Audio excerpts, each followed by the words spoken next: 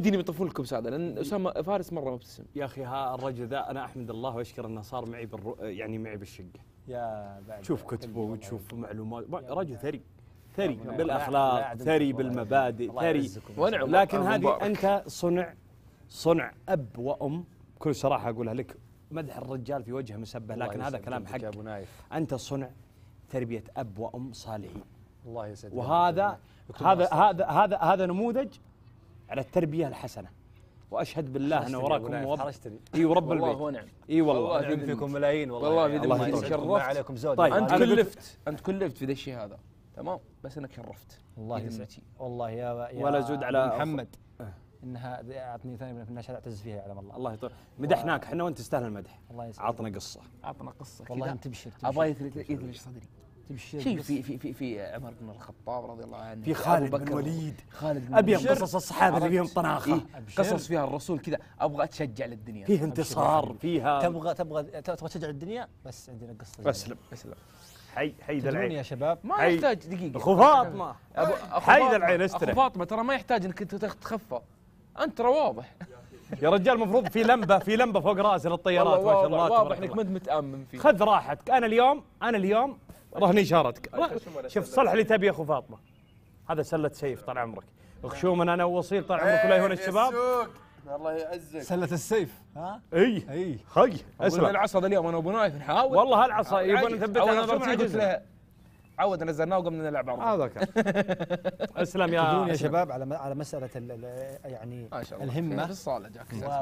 والحماس. للشيء الجميل أحيانا الشخص يكون في في أصعب وأسوأ مراحل ممكن يمر فيها بس تحصل عنده طموح لشيء تقول وينه وين ذا؟ أنت وين وذا الشيء وين؟ بهمة الر... آه، بهمة الرجال طال عمرك تشيل الجبال. إيه عشان كذا. بيض الله وجهك مطلق وسديد.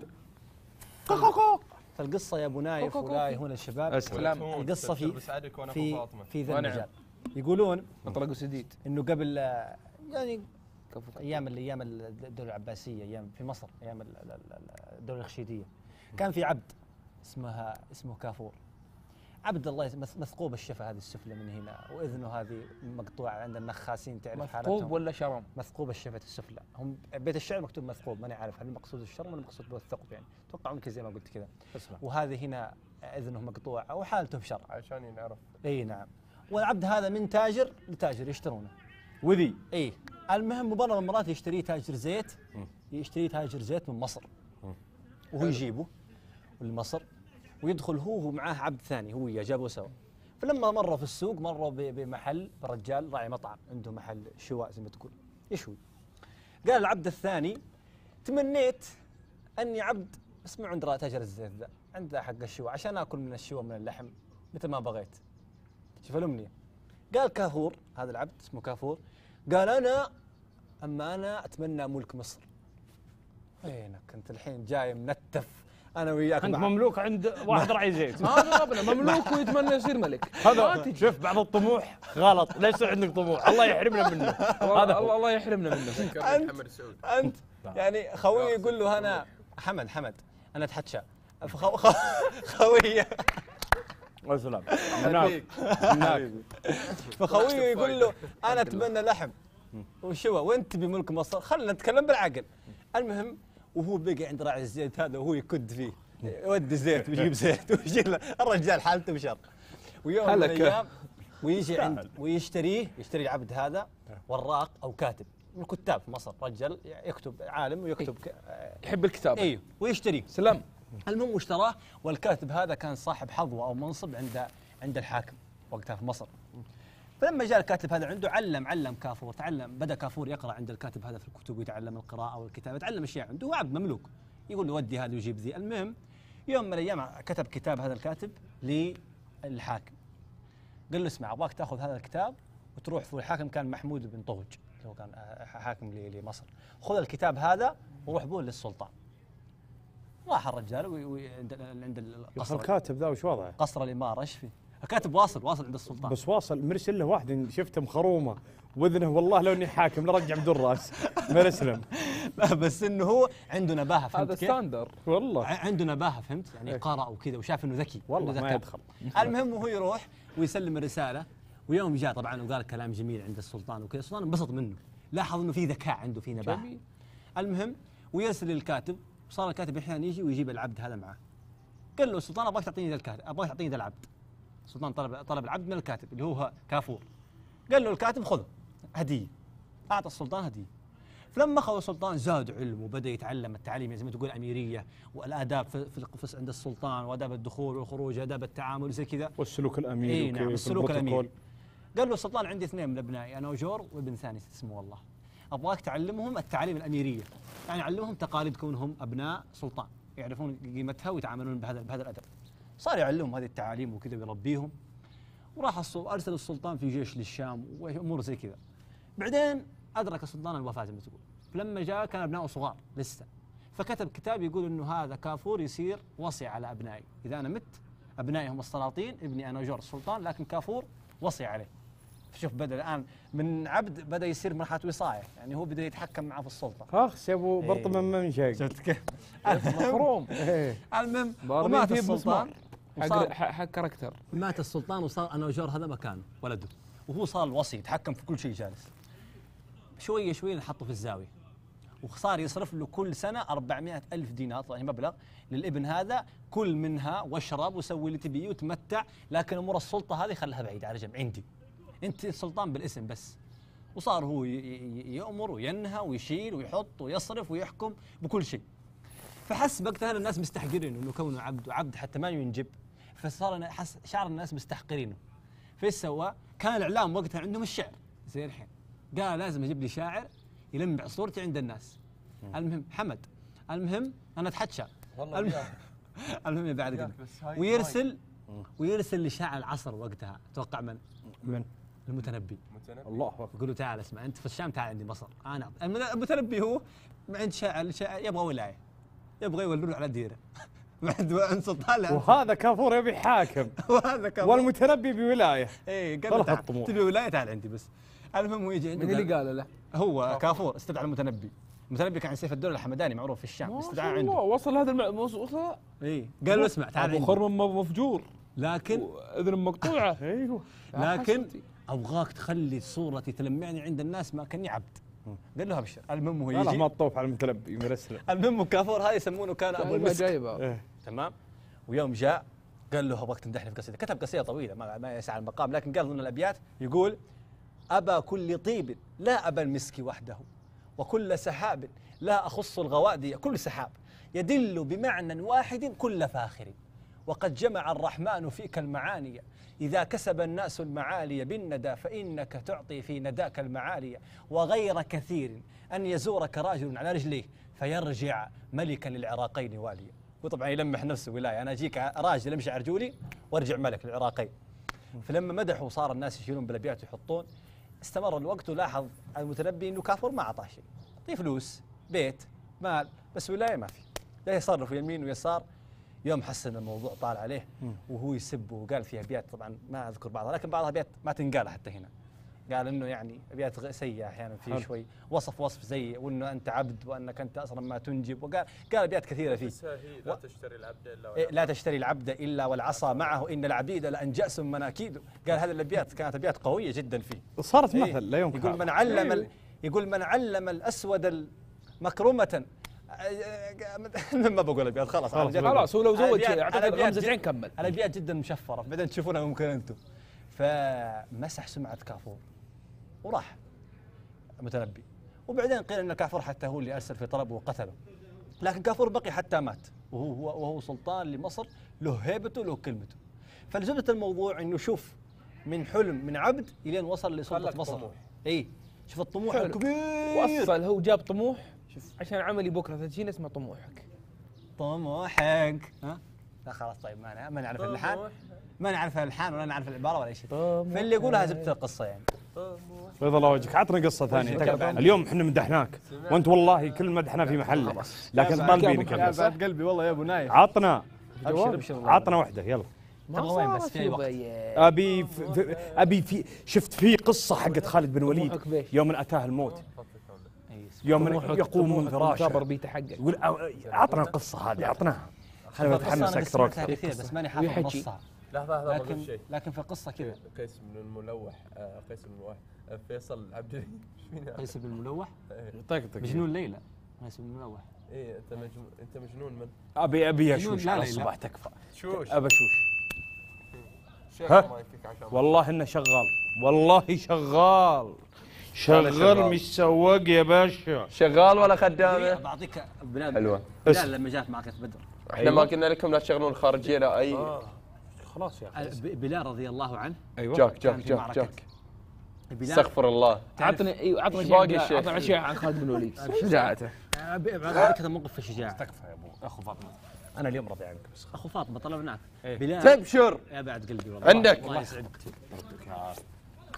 بلال بن رباح كان عبد في أي والله. مكة فرصة. بن خلف تحمس أمية كان لما أسلم كان يطلعوا لبطحاء مكة أو جبال مكة وي- ويخليه يسدح على على الصخور على حرارتها. تعرف القصة؟ يحط الصخرة بحرارتها على صدره. ما يعني أك- من أشد الناس اللي عذبوا تعذبوا في الإسلام بلال. بلال. أحد بلال أحد. بن رباح رضي الله عنه. وعمار. وعمار نفس الكلام. قتل, قتل دول. أبوه وأمه حتى نفس الوقت. فصار يعذب بلال وبلال يقول ليش؟ أحد أحد. أحد أحد. أمية بن خلف تخيل. بع- بعض عمار بن ياسر رضي الله عنه عذبوه وقتلوا أمه وأبوه وألجأوه في النهاية أنه يسب النبي صلى الله عليه وسلم. فسب النبي صلى الله عليه وسلم وقلبه مطمئن بالإيمان. حتى إنه لما سب راح يبكي عند النبي صلى الله عليه وسلم وسقط عنده وقال يا رسول الله قلت فيك يعني قول غير جيد. قال النبي صلى الله عليه وسلم كيف تجد قلبك؟ قال مطمئن بالإيمان. قال اذهب. وان وإن عادوا فعد. ان اجبروك مرة ثانية تسبني؟ سب. سبا أهم شيء قلبك مطمئن بالإيمان. اللهم صل وسلم. لكن بلال بن رباح رضي الله عنه رغم إنه كان عنده الرخصة هذه ما خضع لها. ولا رضي تخيل يعني كل الكفار والمشركين وتعذيب وجلد باصطياط وعلى والصخور والدم والحالة مزرية. ومو راضي. لدرجه أمية بن خلف كان يجي عند ابنه يقول له قل قل واللات والعزى. قل أي شيء قل كلمة فقط تشفع لي عند قريش. يقول؟ شو؟ أهل قريش واقفين وراه كفار قريش واقفين وراه يقول لا تفضحني قدام العرباء زي ما تقول. قل كلمة. يقول- يقولون والله بالجنه يقولون يقولون عبده ما قدر فيه. المهم يقولوا يعني يقول والله قد أنصفتك. قل كلمه كلمه بس وأنا أترك اعتق بس أقول إني أخذت اللي أبغاه منك. هي خلاص اتفقنا. ولا وقف قال بلال بن رباح. أحد احد ما- خربت. خربت ما عزر. والله انه عزر فيه سبحان الله. تعرف اللي إيه. سوى سبحان فيه كذا هو. ويوم خلاص تعزير. تخيل صار يترجى بلال سكين. والله. صار صار يترجى بلال رضي الله عنه إنه يقول بس كلمة. فلما زاد عليه الحال جاء أبو بكر رضي الله عنه وقال له كم بكم بكم تبيعه؟ قال حط قال ب 40 أوقية ذهب. قال له أبو بكر قال له أبو بكر خذها وهاتي فلما راح صار يقول ابو بكر يقول لو لو أبيت إلا بأوقية لاعطيتك خلاص خذه بس فكني منه. قول بعته. أول ما باعه قال بعته. خلاص خرج من ذمتي ما عاد هو عندي. انتهينا منه. كان يبغى يفتك بس من الموضوع فلما بلال رضي الله عنه اشترى واعتاق اعتقه أبو أبو بكر وهاجر المدينة وجاءت معركة بدر. أبي بن خلف كان يعرف تماما إنه بلال رضي الله عنه بينت- بينتقم منه. فما أراد أن يخرج المعركه وبقي في مكة. ولما جاء أبو جهل تعرف أبو جهل ما, ما يجي منه خير. وشافه جالس عند الكعبة وما بيروح جاب العبيد حقه قال يا عبد جيب البخور. المهم يجيب البخور يقول له ها تجمر. تجمر كالنساء يا أبا علي. إنك أنت قاعد أنت قاعد هنا ما أنت رايح مكان. الله يعزك. والله محشوم محشوم الله يعزك. والله محشوم بس أذكر اقصد المشهد والله بس أيوه. انسحب وجهي. تخيل نرفز امزح وأنا خفاض الله يعزك يا صديق لا والله محشوم بس اني اقصد والله مشهد والله. آسف والله يا صديق والله إني. أيوه شنو؟ المهم تنرفز هم المشهد. قام قال أنا تقول لي كذا فخرج وراح لزوجته وجهز أموره وصار يقول لزوجته يقول لها قتلني ابن اللعينة. يعني أبو جهل إن الخارج ميت ميت خلاص. صبحكم الله بالخير يا شباب. كيف حالكم طيبين؟ لا أنا ما بقطع أنا بمشي أصلا. بس إحنا أخوياكم في ال location الثاني. أيوه. وجعانين مرة والله. والله بس خلي بيختم وطالبين طالبين من. الرجال. بس أبغى أبغاه يعطيني موعد وبمشي أنا بمشي. أبد عشر خمس دقائق بس وأبشر. الله يبيض وجهك. يعني أيوه. عندي ما قتلني قتلني. ابن الملعونة. يقول لا، قتلني ابن. اللعينة. ابن اللعينة. المهم حياك الله. وخرج في المعركة. والمرة الجاية جيب معارض يا معاك اخو يا أخو فاطمة طلبنا خليك كمل يا أبو زين أنا ترى مستانس على القصة أكثر منك. فاسكت اعرف خرج يا أبو نايف ويوم. وصل للمعركة. شفت كيف؟ يوم وصل ترى للمعركة. تحت حاطين الحين وشاف الطحن والمطاحن. ترجمة. والجماعة راحوا. عتبه بن ربيعة وكبار قريش شباب بن ربيعة قتلوا في المبارزات الأولى. وأبو جهل يبغى من ينقذ وراح فيها. شاف إنه هو الأمر بعد في صالحه رمى السيف ورمى كل شيء. قال من يأخذني اسيرا؟ أسير أنا أسير من أسير من يقتل. قال خذوني أسير بس بس لموني أروح أسير وبعدين بفدي نفسي بالمال. فجاء عبد الرحمن بن عوف رضي الله عنه كان مع المسلمين لكن كان بينه وبين اميه بن خلف زي ما تقول أيام الجاهليه أخوة وتجارة. فأراد إنه ياخذه أسير. فجاء وقفل عليه مسكه. شافوا بلال بن رباح. قال رأس الكفر أمية بن خلف لا نجوت إن نجا. إن نجا لا نجوت أنا ما, ما ينجو اليوم. ويجيب بلال رضي الله عنه ويجر السيف على الأرض معه. لين ما وصل له وصل الرحمن عوف يبغى يحميه من بلال. أنه بلال مسلم مثله بس يبغى يحميه من بلال لكن بلال رضي الله عنه دعا المسلمين عليه وقتله فقتل وقتها في ذاك الموقف. كان يستحق ما أصابه من كبار الكفار.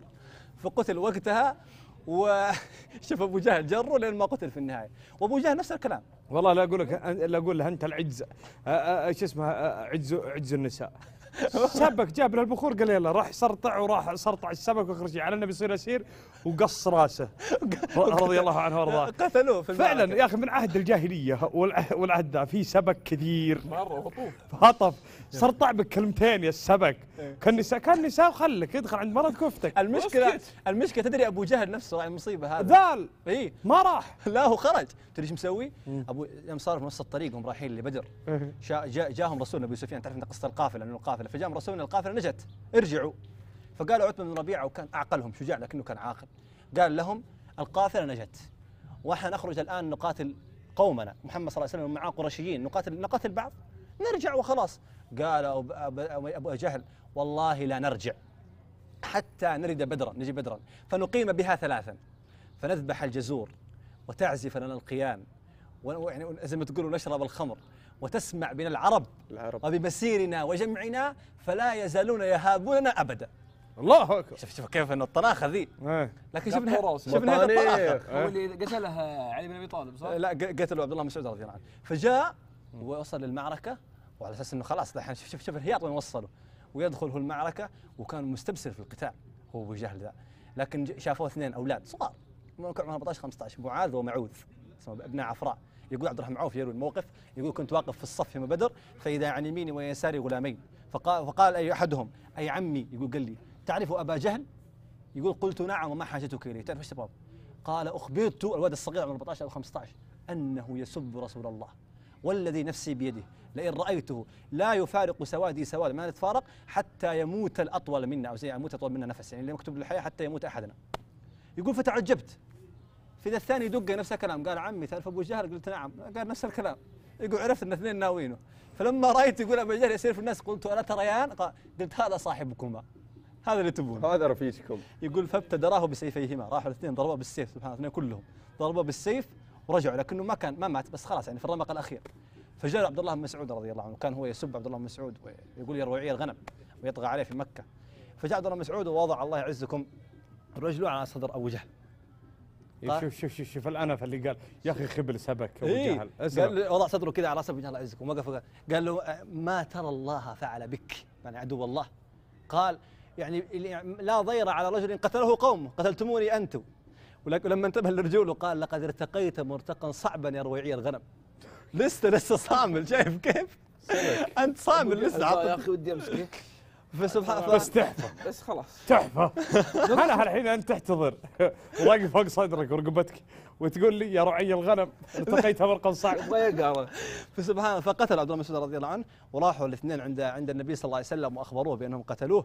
فقال النبي صلى الله عليه وسلم سيفيكما فلما رأى السيف النبي صلى الله عليه وسلم كان يحكم بسلبه. سلب المقتول يعني يشيل عليه والسيوف وتروح الواحد منهم غنيمه فالنبي صلى الله عليه وسلم أراد يحكم بها لمن؟ فقال من من فيكم قتل وروني السيف. لما رأى ثار ثار القتل على السيفين كلها قال كلاكما قتله وقضى بسلبه الاثنين كلهم. حتى النبي صلى الله عليه وسلم لما قال له قتل قال أرونيه. راح النبي صلى الله عليه وسلم حتى نظر له أنه هذا فرعون الأمة. فرعون أمة محمد صلى الله عليه وسلم أبو جهل. فخلاص منه حاجة عظيمة. بطفلين ها؟ بطفلين من اطفال الصحابه وشوف سبحان الله اخر آخر نقطة والله ما أطول عليك أنا آسف. عطنا عطنا شيء عن خالد الوليد. طيب آخر نقطة بس. أبو جهل. يأكلونك اللي هني. شوف يا شوف شوف يا. شوف يا أبو نايف. والله يا أبو نايف لو أحكي لك أبو جهل أنت عارف أنت تدرى مني أبو جهل وش سوى؟ من مصايب. حارب النبي صلى الله عليه وسلم. إيش يقول؟ هو أبو جهل من بني مخزوم والنبي صلى الله عليه وسلم بني هاشم. هم كانوا متنافسين الشرف في قريش. فلما جاءوا مرة سألوه قال والله إني لأعلم أنه رسول الله. شوف كيف؟ لكن تناجزنا نحن وبنو هاشم من الشرف حتى كنا كفرسي رهان زي فرس في السباق. أطعموا فأطعمنا. وسقوا فس- فسقينا. وأطعموا الحجيز فأطعمناهم فقالوا منا نبي يأتيه الوحي من السماء. فأنا لنا بمثل هذه. هذه ما عندنا مثلها فعشان كذا ما بصدقكم. تساوينا لما زادوا عنا بالنبي ما حصدقكم ولا حمشي معهم أبدا. ما حخليهم زايدين عليه فهمت كيف؟ في اللي كان يمنعوا الكبر يعرف الحق بس كان يمنعوا الكبر. فعشان كذا لما سبحان الله وقتل مع ذلك لما أسلم ولده أسلم ولد عكرمه ابوه كان أكبر أكبر مصايب يعرفه محمد صلى الله عليه وسلم. إيش قال النبي صلى الله عليه وسلم؟ قال لا تسبوا أبا جهل. عشان ما يؤذي مشاعر ولده. لا تسبوا أبا جهل عشان ما تتأثر مشاعر عكرمة. شوف سبحان الله كيف الله. كيف ال... اللهم كيف.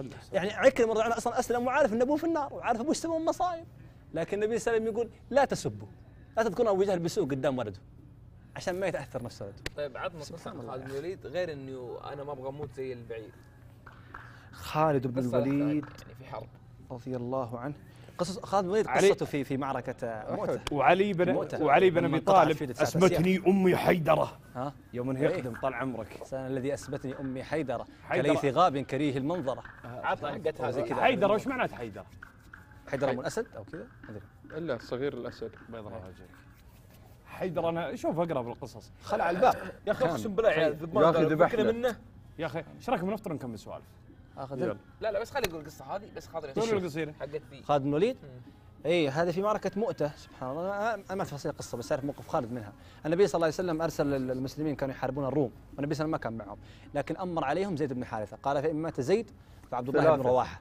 فإن مات عبد الله بن رواحة الراية الراية تنقل مع من؟ لأن الراية طبعا هي عمد سقط الراية. سقط الجيش. راية الجيش هي لازم ما تسقط. لازم الراية ما تسقط. الرايه تبقى ثابتة مهما حصل. فقال الرايه عند زيد بن حارث فإن مات زيد فعبد الله بن رواحة فإن مات عبد الله فجعفر بن أبي. طالب كذا. الثلاثة كلهم. فجاء سبحان الله للمعركة وكانت الراية في يد زيد. فقاتل زيد عنه واستبسل في القتال حتى قتل. ما سقطت الراية؟ أخذها عبد الله بن رواحة. وقاتل عبد الله بن رواحة رضي الله عنه واستبسل في القتال حتى قتل. فأخذها جعفر بن أبي طالب رضي الله عنه. الراية راية. المسلمين. إي نعم في بيمينه زي ما قلت. وقاتل حتى قطعت يمينه فأخذها بشماله. فقاتل حتى قطعت شماله فأخذها بعضديه صار يشد الراية كذا عشان ما تطيح الراية. حتى قتل رضي الله عنه. فلم جعفر الطيار. فلما قتل قال النبي صلى الله عليه وسلم إن الله أبدله بيديه جناحين في الجنة يطير بهما حيث شاء. فسمي جعفر الطيار. هو ابن عم النبي صلى الله عليه وسلم جعفر بن أبي طالب اخو أبي طالب. فاصلا جعفر كان وقتها يمكن ما له سنة أو أقل من رجع من الحبشة. يعني ما يعني ما عاش مع النبي صلى الله عليه وسلم طويل. تو جاء سنة بعدين قتل في المعركة. بعدين أخذها خالد الوليد. فكان خالد خالد بن الوليد رضي الله عنه يقول ذاك اليوم انقطعت في يدي تسعة أسياف. تسع سيوف من كثر ما يضرب في الرقاب انقطعت السيوف تقطعت يده فما بقي في يدي إلا صفيحة يمانية. زي ما تقول ما هي سيف أو زي ما, ما نعرف والله إيش بالضبط الشيء بس قال إنها صفيحة يمانية يعني أتوقع إنها يعني يمكن زي شفرة السيف بس بدون غمد السيف. كامل. إيه. بقي يقاتل فيها. حتى سبحان الله نسيت نهاية القصة. بس إنهم يعني ضاق عليهم الحال نسيت والله نهايه القصة. فأفرج كان فرج من الله. الروم الروم انسحبوا. في النهاية الروم هم انسحبوا. يعني ضاق بهم الحال فالروم انسحبوا ورجع المسلمين في النهاية. أن هو نسيت المس- المشهد. المسلمين. إي نعم. هم اللي شوف المساعد الرخاء ها؟ نهاية القصة. المسلمين. المسلمين. إي نعم. هم رجعوا. أنا أنا نسيت نهاية القصة بالضبط. الشيء كان؟ يا أخي عن يا أخي الوقت. قصص الصحابة بس أنت لو تشوف رضوان الله عليهم. شوف قبل قصص الصحابة النبي عليه الصلاة والسلام لما أمر ثلاثة على الجيش كان يعرف إنه بيصير كذي بعدين كذي بعدين كذي. سبحان الله. شوف. جاء الوحي النبي صلى الله عليه وسلم. اي اي أخبرهم في المدينة قبل ما يجي الجيش. قال لهم قتل فلان قتل فلان فامروا عليكم يحمل الراية يحمل الراية. هو لو لو الجيش شاف الراية طاحت بس الجيش كله تخر قوة. انتهى. لأن على ال- طيب ويوم مات وهي في يده سحبها ولي خالد بن الوليد خالد بن الوليد اي خالد بن ياخذها. يعني مجرد ما يشوف الشخص مات ياخذ الراية. فرجع خالد بن الوليد رجع بالجيش. يعني أنقذ الجيش ورجعوا يعني كان المعركه يعني صعبه كان قوي خالد بن الوليد اي خالد ما قطع ال... لما كان هو في العراق وأرسل له عمر الخطاب رضي الله عنه يذهب مدد لجيش في الشام. فلما وصل نسيت أرض والله نسيت اسمها نسيت اسمها اللي اللي قطعها في يعني أرض لما تقول ما حد ما حد يسير فيها واحد يقطعها. مهلكة. ما فيها ما فيها لا ما ما يضبط القصة لكن بشوفها وأرجع أقول لكم في وقت ثاني لكن المهم إنه قطع الأرض هذه في وقت يعني وجيز أو في ليلة فقال في حتى ينطلق منها المثل اللي هو في الصباح يحمد القوم السرى. لما وصل يعني زي ما تقول إنهم بسطوا إنهم سروا في الليل. لأن الأرض جدا كانت خطيرة وكل من معاه شرع يقطعها. انقطعها يعني الجيش بيهلك معاه. لكنه غامر قطع سبع هذه الأرض بجيش كامل. فأنا نسيت بالضبط القصة لكني بشوفها وبإذن الله تكون معنا بكرة إن شاء الله. كان قوي. عشان خالد بن الوليد لما توفى خالد بن الوليد مات على السرير. سبحان الله. قد سمعت الحكمة صح؟ طريق سماوة. ها؟ السماوة أي السماوة. طريق السماوة. جميل. فخالد بن الوليد في في أحد سأل سؤال جميل أذكر مرة. قد سمعت مقطع مرة إنه أحد قال ليش خالد بن الوليد رغم كل جهاده ومعاركه وأنه سيف من سيوف الله ليش توفي على السرير؟ غيرنا ليش قبل حتى اللي كانوا وقت صح وفاته هذا السؤال هو أصلا كان قبل يتمنى. يموت شهيد إي أنت تشوف؟ حتى هو يقول يقول أنا جسمي ما في قطعه في جسمي إلا واخترقها سيف.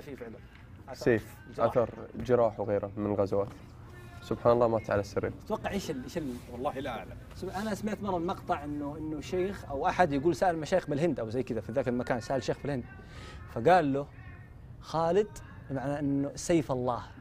فسيف الله لا يكسر أو لا ينقطع. فعشان كذا كان ما يموت في معركة. إنه سيف الله ما ما, ما يموت في معركة ما يكسر ما يقتل. سيف الله المسلول عشان كذا وسيف الله مسلول عشان كذا يموت على سرير. هذه الحكمة يعني مو الحكمة استنباط بالمعنى إنه هذا هو. يعني لما تقول سيف الله ال- ويموت. افهم سيف الله الله يكسر وينتهي؟ اللي نعم. يسلى على الكفار والمنافقين. عشان كذا بقي كيف سيف يموت في الله- معركة؟ بقي بس سيف الله. قصص الصحابة لما ترويها عند أطفالك وعند الأطفال والأصغار يا أخي تشحنهم بالهمم. صحيح خي ديننا دين العزه دين ال... العز والفخر و... فعلا يا أخي ديننا سبحان الله فعلا دين معزه اسال الله ان يجمعنا وياك ان شاء الله معهم ان شاء الله في امين في اعلى جنان لطافه القصة هذه لما تجي كذا في وقت كذا خفيف خفيف سبحانك لك لا وخاصه اذا رويت منك لا بعد قلبي والله عشان الفطور يا شباب يلا بسم الله تبغى نفطر هنا ولا وين نفطر؟ ذولي من هنا شوف الجو هناك بس